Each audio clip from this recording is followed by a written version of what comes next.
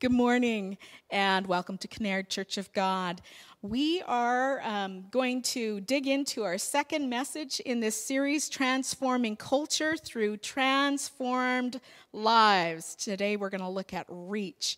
Last week we began unpacking what it looks like to transform the culture around us through lives that have been transformed and compelled by the divine love of God. We looked at how Jesus perfectly lived out the greatest and second commandments to love God with all our heart, soul, mind, and strength, and to love our neighbors as ourselves. How many of you were a little bit more intentional this week, loving others and loving God? Amen. A little bit more aware of that. And if you were here earlier, you got to see some of the uh, pictures that were. Um, circulating on the announcement loops what our kids are learning um, in the service, what they learned and drew about last week about love. And kids we're going to look forward to hearing from you this week if you if you want to share at the end of the service about what you learned today okay? Um, today's key value is reach reaching out to others as the body of christ to fulfill the great commission. And i have a brief video clip that speaks poignantly about the power of reach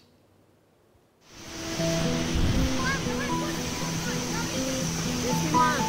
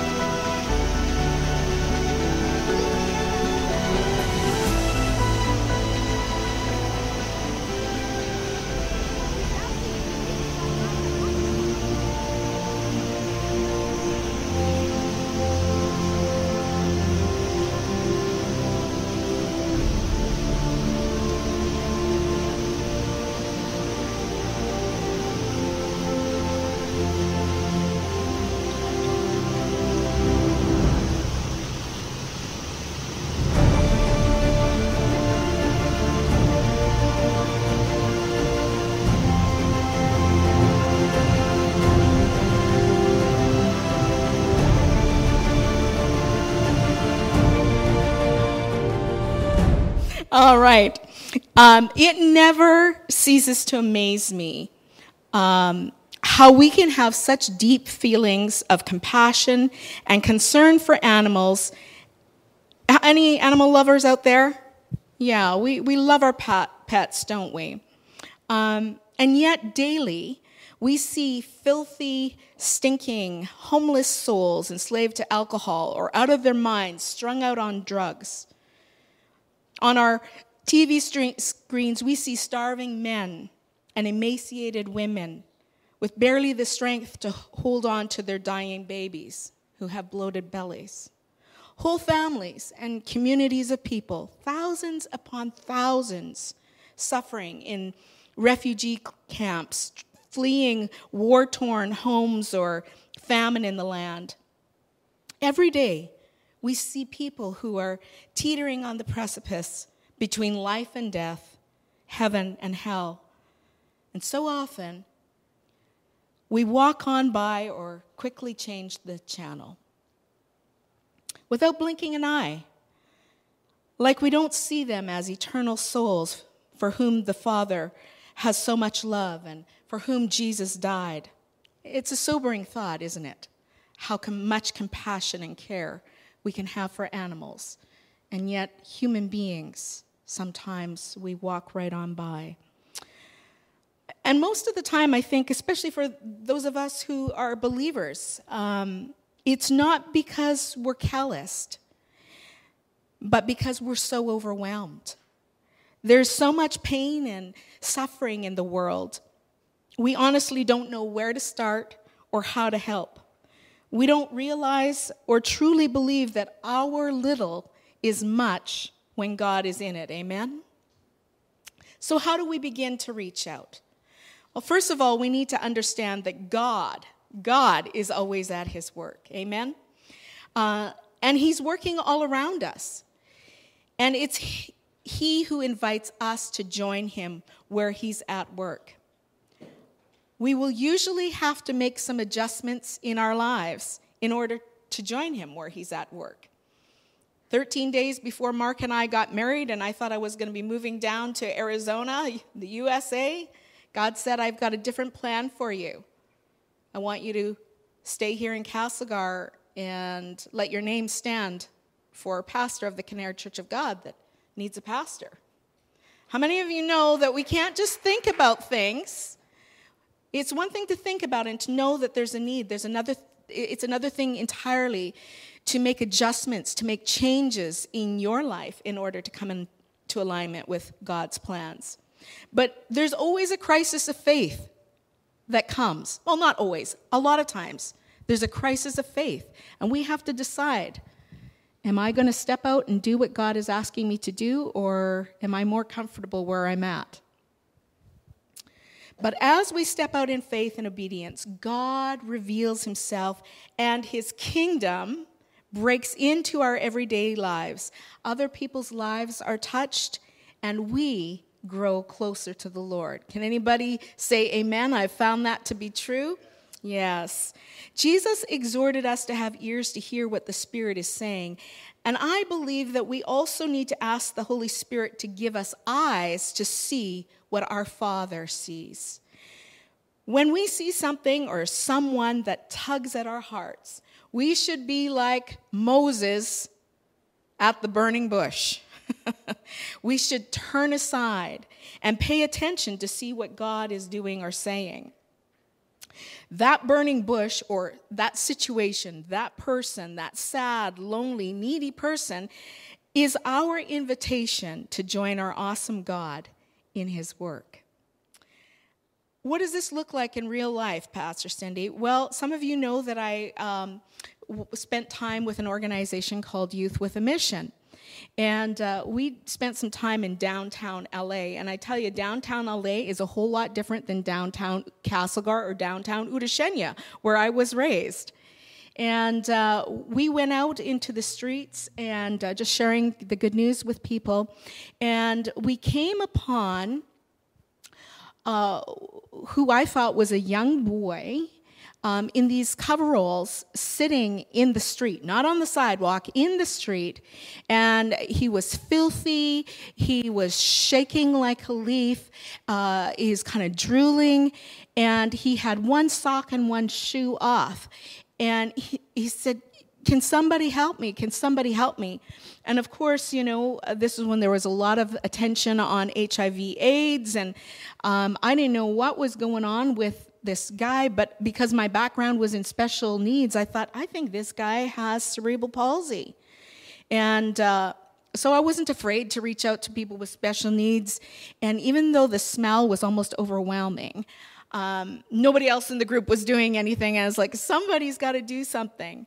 And so I went over and I bent down, and you know, that sock was wet.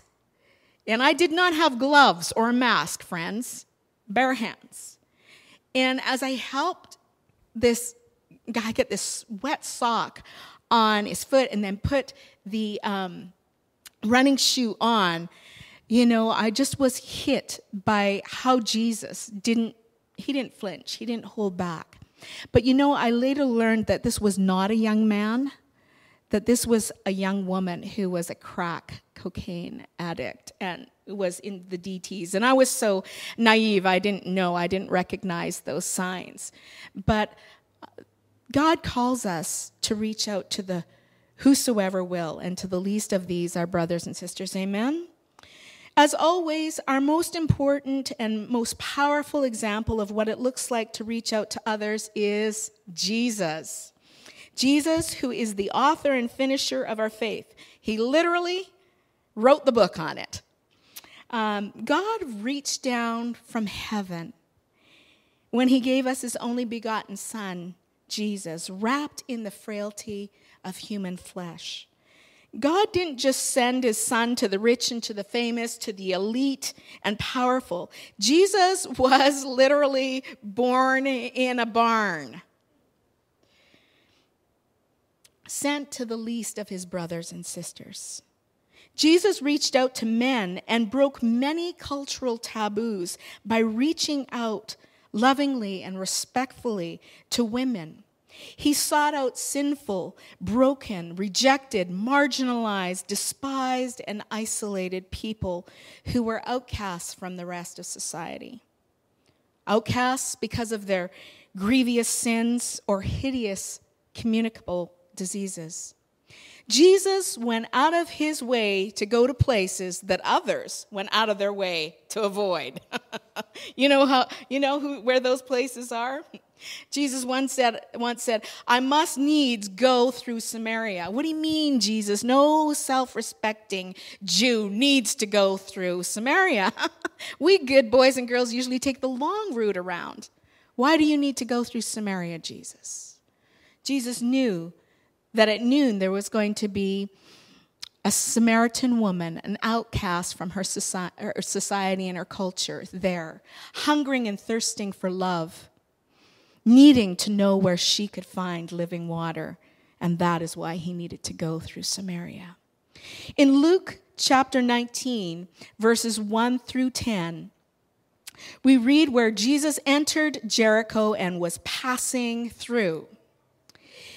A man was there by the name of Zacchaeus.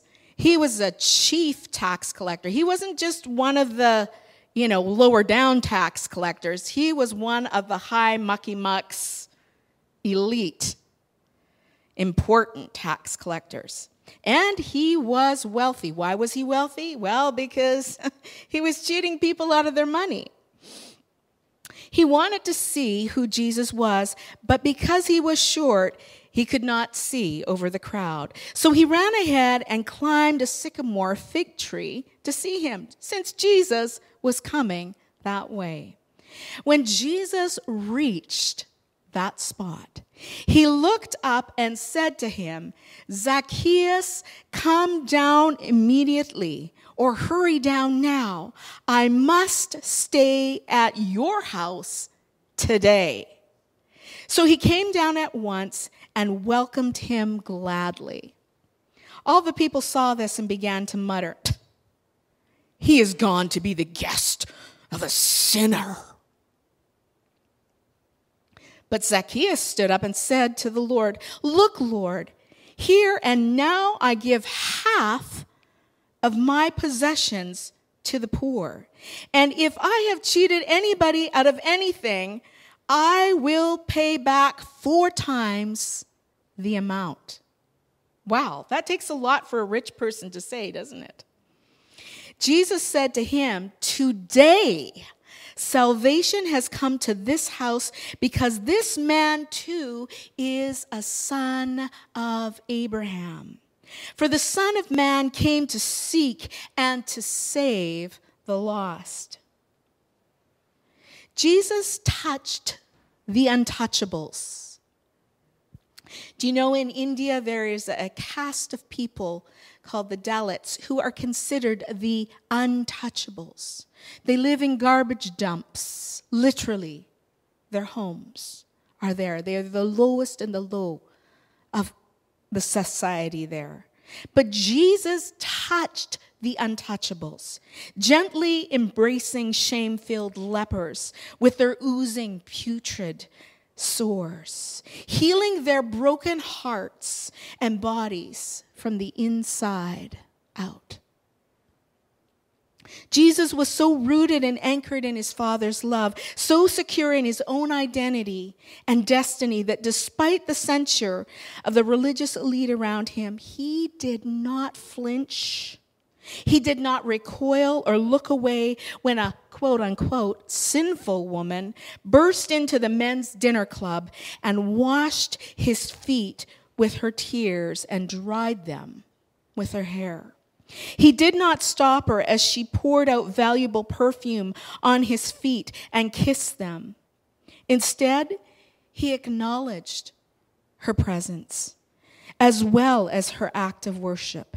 He told the arrogant, judgmental men who looked down on her and him for letting it happen that wherever the gospel would be spoken in the future around the world, this woman and her love for her Savior would be remembered.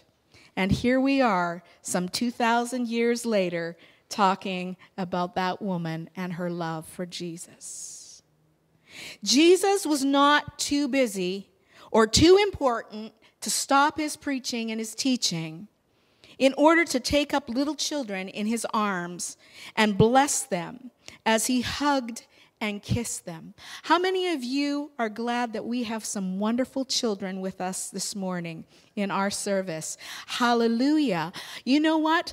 God is ahead of us in all things. COVID 19 has not taken God by surprise. He's not scratching his head wondering what he should do next. He's way, way ahead of us, and he is calling us back to our anchor in him. He is calling us back to that true north. He is calling us back to the true way of being the church, not showing up at a not segregating ourselves and delegating the teaching of our children just to an elite class of teachers, but where we as parents are actively involved in what our kids are learning. And we have that opportunity to talk with them about God's goodness. Amen. How many of you are glad to have the kids with us this morning? Let's give them a hand clap. Amen, kids. We're glad you're with us. Isaiah 61, uh, verses 1 through 3, is a beautiful portion of scripture which Jesus, when he was in his hometown of Nazareth, uh, was in the synagogue, and it was his family's turn to read from the scroll. And as he he stood up and he opened the scroll, it just happened that the scripture reading for that day was this portion. And uh, Luke truncates it a little bit. I want to read uh, all three verses because I want you to hear what Jesus said. He said, Today this scripture is fulfilled in your hearing. He was talking about himself. Isaiah is prophesying about the coming Messiah. The Spirit of the sovereign Lord is on me because the Lord has anointed me to proclaim good news to the poor. He has sent me to bind up the brokenhearted and to proclaim freedom for the captives and release from darkness for the prisoners to proclaim the year of the Lord's favor and the day of vengeance of our God. How many of you know God knows who our true enemies are and He's got our back? Amen? To comfort all who mourn and to provide for those who grieve in Zion, to bestow on them a crown of beauty instead of ashes. Anybody had any ashes in their life? God says He brings us beauty, a crown of beauty instead of that. To give them the oil of joy instead of mourning, and a garment of praise instead of a spirit of despair. How many of you, as we worship this morning, just felt any kind of heaviness or worry or anxiety lifting up off of you as you just embraced being clothed in that garment of praise and God's righteousness? Amen. Just wonderful. He says, They will be called oaks of righteousness, a planting of the Lord for the display of his splendor. How many of you know that oaks are big, strong trees when they grow up? They are anchored and they are rooted and they can withstand all kinds of storms. You know, I don't know about you, but as I, you know, am on social media and different things, we just become aware of a weakened society, if I may put it that way. I was looking at a post that was on uh, Facebook the other day of a new line of men's clothing that had been put out by a very uh, famous, well-known, uh, you know, clothier. I won't name them. And the person who, who shared it was kind of joking because in some ways it was a joke. But as I took the time to actually click on the link and go and watch, I was heartbroken. I was heartbroken, church, because there must have been about 20 men who were clothed in women's clothing, nay, verily, girls' clothing, scantily clad, makeup on their faces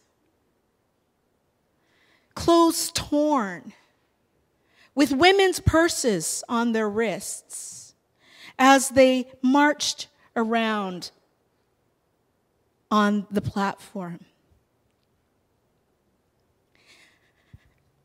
Church, this is not a laughing matter.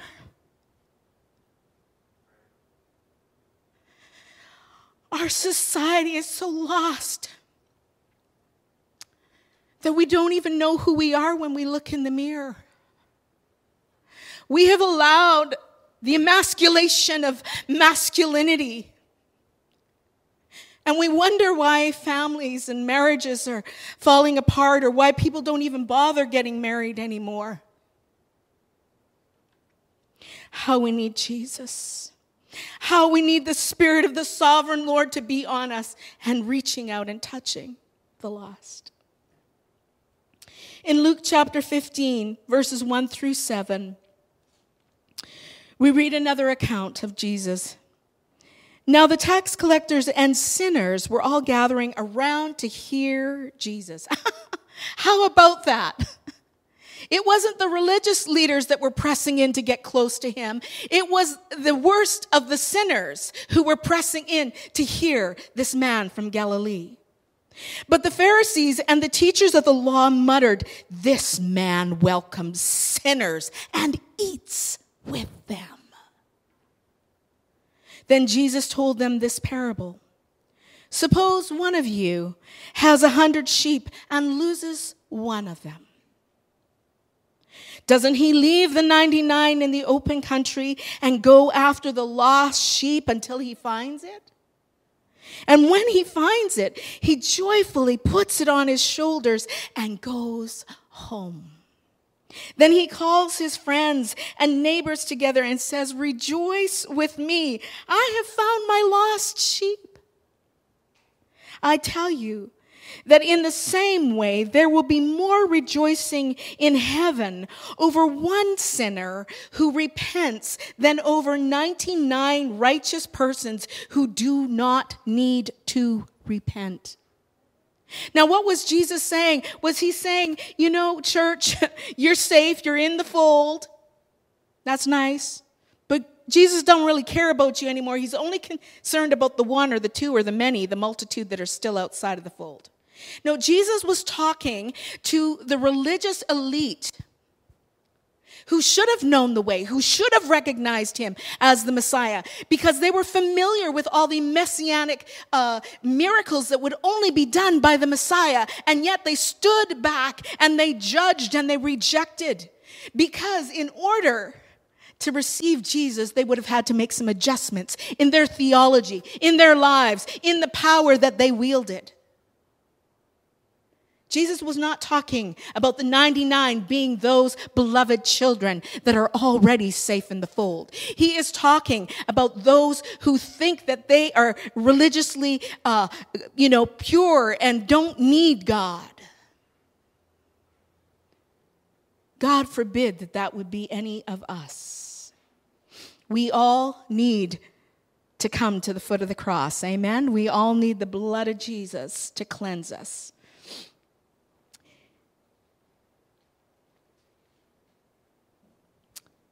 In Matthew chapter 9, verses 35 through 38, we read Jesus is still on the move. Jesus went through all the towns and villages, teaching in their synagogues, proclaiming the good news of the kingdom, and healing every disease and sickness. How many of you are glad that Jesus still heals all sickness and disease? Father, we just thank you that your presence is here this morning, Lord God, that sickness and disease cannot abide in your presence. Lord, we speak healing and strength and vitality in the name of Jesus, Lord, to every ache, to every disease, to every need in the body and beyond today. When he saw the crowds, he had compassion on them because they were harassed and helpless like sheep without a shepherd. Then he said to his disciples, The harvest is plentiful, but the workers are few. Ask the Lord of the harvest, therefore, to send out workers into his harvest field. Yes, Lord, we say yes. Send out workers, Lord. Send up, raise up, send out, Lord. In John 20, verse 21, Jesus said to his disciples, this is after he had been resurrected, and he came to them and he said, Peace be with you. As the Father has sent me, I am sending you in the same manner that God my Father has sent me to reach out to the oppressed. I am sending you, my disciples, out in the same way just before he was taken up in the clouds before their eyes. In Matthew 28, verses 18 and 20, we read this.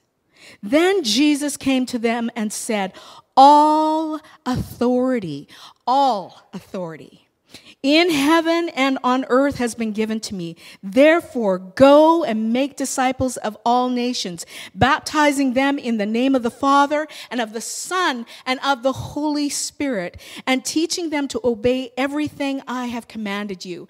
And here's the good news. And surely I am with you to the very end of the age. Have we reached the end of the age yet, folks? We're still here, so the age has not ended. He's still with us. He has not retreated. God is not social distancing. He is still with us. Amen. Emmanuel, God with us. We read this passage, and some of us get into guilt and condemnation because we realize we haven't gone overseas as missionaries what we need to understand is when in this portion of scripture that the word go is actually in the passive tense. It would be better translated as you are going. As you are going, as you're living your daily life.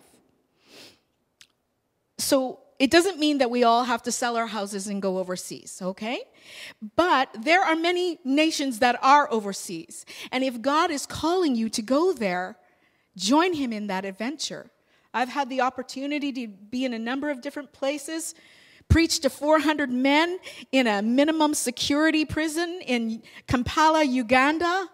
and to see a hundred of them stand to their feet uh, when I gave an altar call, to see men hungry and thirsty for the one who can make a difference in their life. Amen?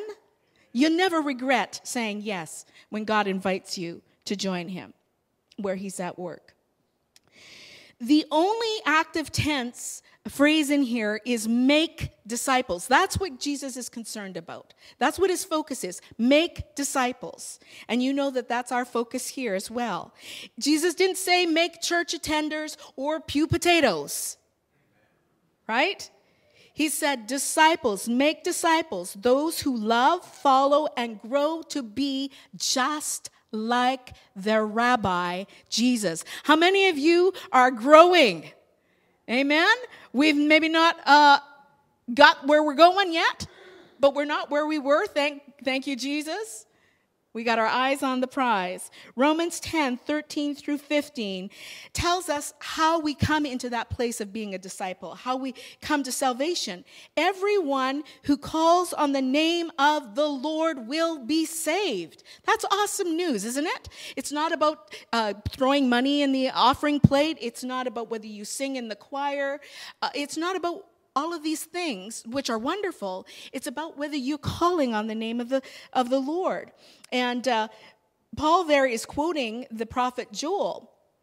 But he goes on in verse 14 to say, How then can they call on the one that they have not believed in? And how can they believe in the one of whom they have not heard? And how can they hear without someone preaching to them?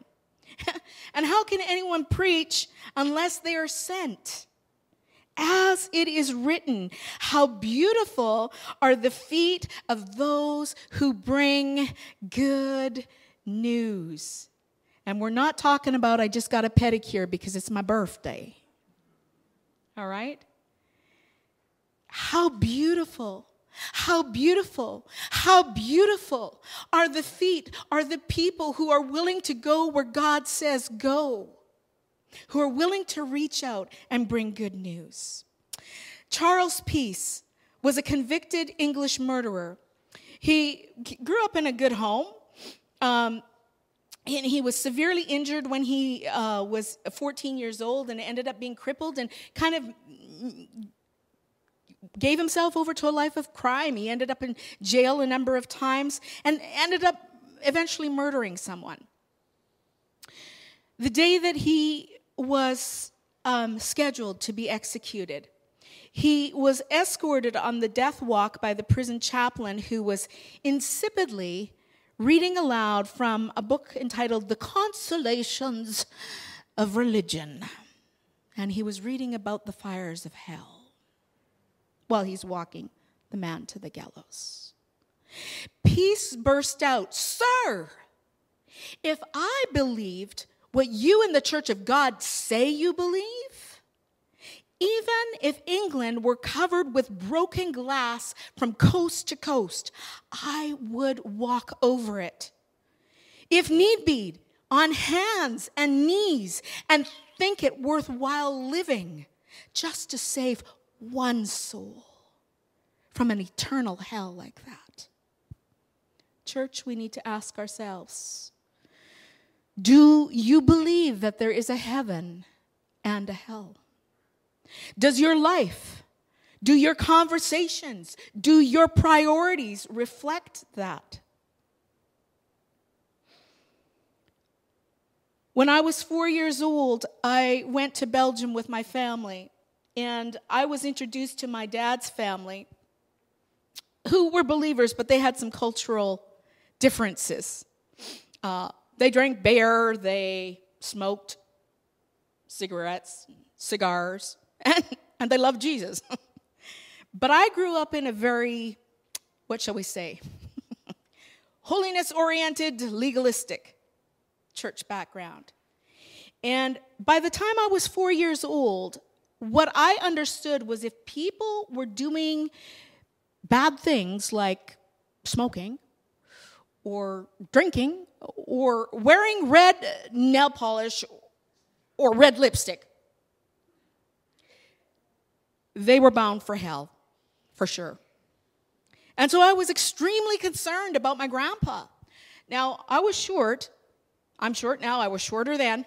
And my grandfather stood over six feet tall. My parents went out and left me with grandpa and grandma babysitting. We don't speak the same language. I'm English, they speak Flemish. And when nobody was around, I took his tobacco pouch and I hid it down in the kitchen, in the cupboards, way back in the pots and pans so nobody would ever find it, especially not grandpa. And by the time my parents came home, my grandfather was having some withdrawal symptoms. He was sweating. He was really, uh, you know, getting a little anxious. And he didn't want to tell on his darling granddaughter, but he, he needed a smoke. And so he said, Jack, Kathy, I think Cyndi, I think Cyndi, it wasn't Jake because he was only like 10 months old. I think Cyndi hid my smokes. So my mom threatened me within an inch of my life, Where are those smokes? And I held out, I held out. And the pressure kept mounting. The persecution, church, was mounting. And finally, the final straw do you want a spanking? no. And so I got the pouch out, and my, my grandfather quickly made himself a smoke and went out in the backyard and lit up. And I was running behind him as fast as my little feet could take me. And uh, as he lifted that smoke up to his lips for that longed for,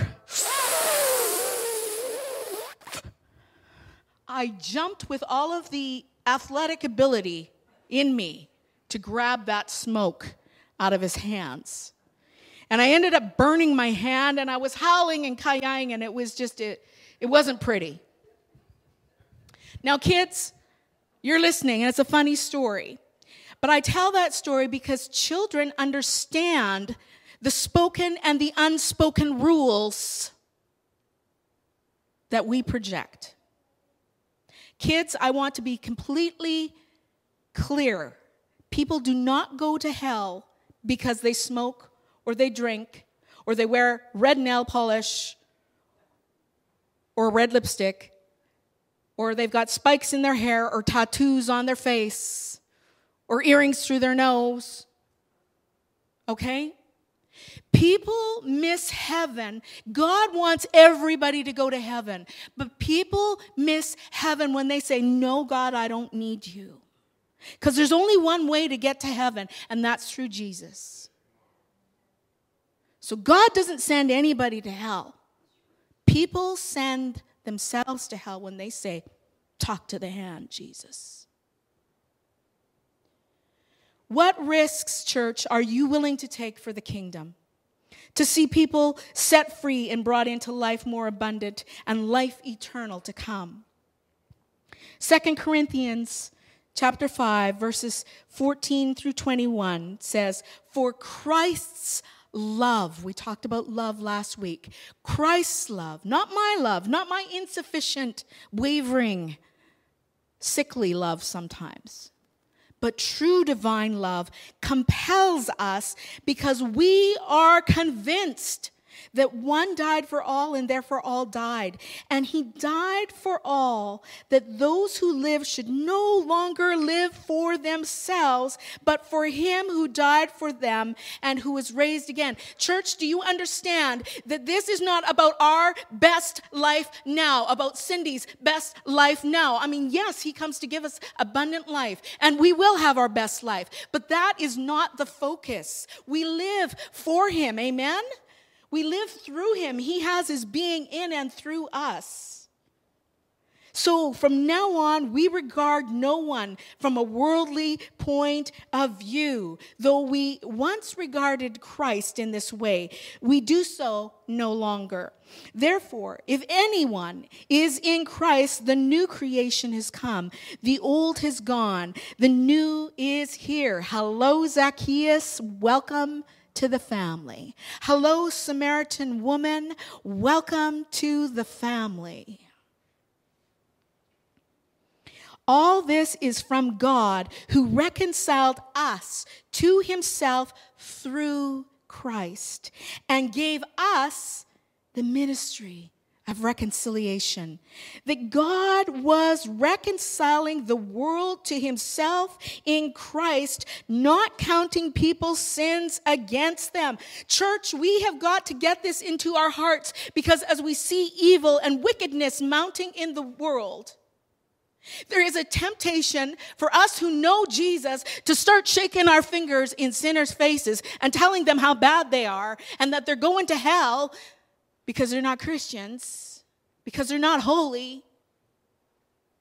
That's not the good news. The good news is that Jesus died for each and every one of them. Amen? Jesus' heart, the Father's heart, is to bring us close, is to reconcile us to Himself. That is the good news that needs to be on our lips wherever we go. Amen? Christ not counting people's sins against them when they accept Him. And He has committed to us the message of reconciliation. We are therefore Christ's ambassadors, as though God were making his appeal through us. We implore you on Christ's behalf be reconciled to God. God made him who had no sin to be sin for us, so that in him we might become the righteousness of God. In closing, one more scripture Philippians chapter 3, verses, the second part of uh, chapter, uh, verse 12 through 14. Paul is, is writing to the Philippians. He says, I press on to take hold of that for which Jesus Christ took hold of me. Brothers and sisters, I do not consider myself yet to taken a hold of it. what? You're kidding me. Paul, who wrote most of the New Testament, you haven't taken hold yet? what hope is there for us, eh? But one thing I do, forgetting what is behind and straining toward what is ahead, I press on toward the goal to win the prize for which God has called me heavenward in Christ Jesus. Church, as we prepare to leave this building or the comfort of our homes, wherever we're watching, we are going into a world where people are harassed and helpless. They're hurting and so very, very confused. Seriously confused. They are anxious, fearful, stressed, depressed, and demonically oppressed. Jesus called them sheep without a shepherd. Who is the one that the Good Shepherd is laying on your heart today? Do you sense his heart? Do you hear the urgency as he says, For this one I laid down my life and rose again. For this one I came to bring life and life more abundantly. Earlier, we watched a video clip of young men joining hands, linking hands together to make a human chain so that they could reach down the steep sides of a canal filled with turbulent, rushing water to rescue a poor, frightened dog that was in danger of being swept away. As we go about our lives this week and every week, may we live out the words of the old hymn Oh, to be his hand extended, reaching out to the oppressed. Let me touch him let me touch Jesus so that others may know and be blessed. That is our prayer. It is a simple one. Let's go forth and live it out. Amen. God bless you. We look forward to being with you again next week.